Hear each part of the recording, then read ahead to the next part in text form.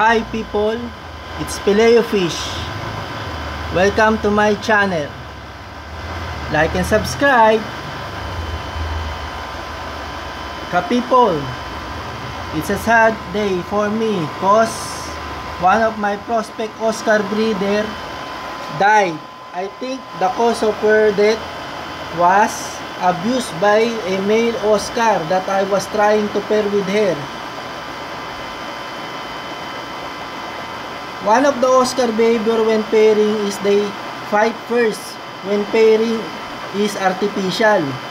I think the male Oscar is very dominant and beat my female Oscar and the result of her beating she became weak and did not eat and eventually died. For now, I will get her and will give her a proper burial. There, I will get her.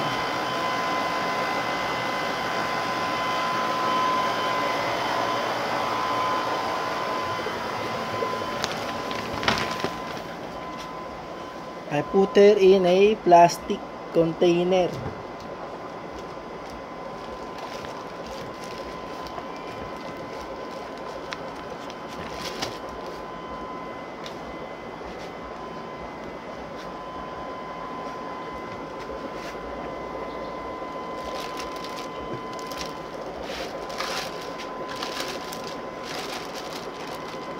And I will wrap her.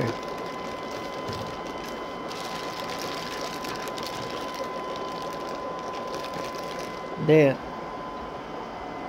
I already dug a pit for her grave. This one. There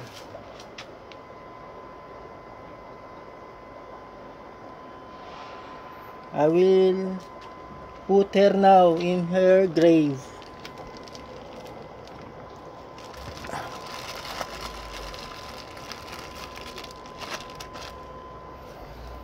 Uh, and I also even give her a flower.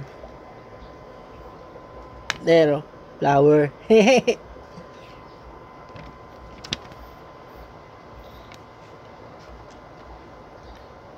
truly I will miss her.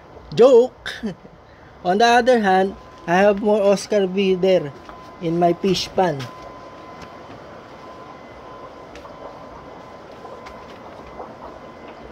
There.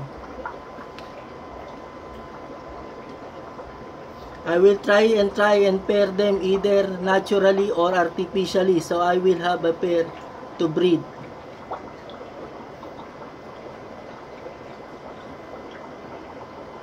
Thanks.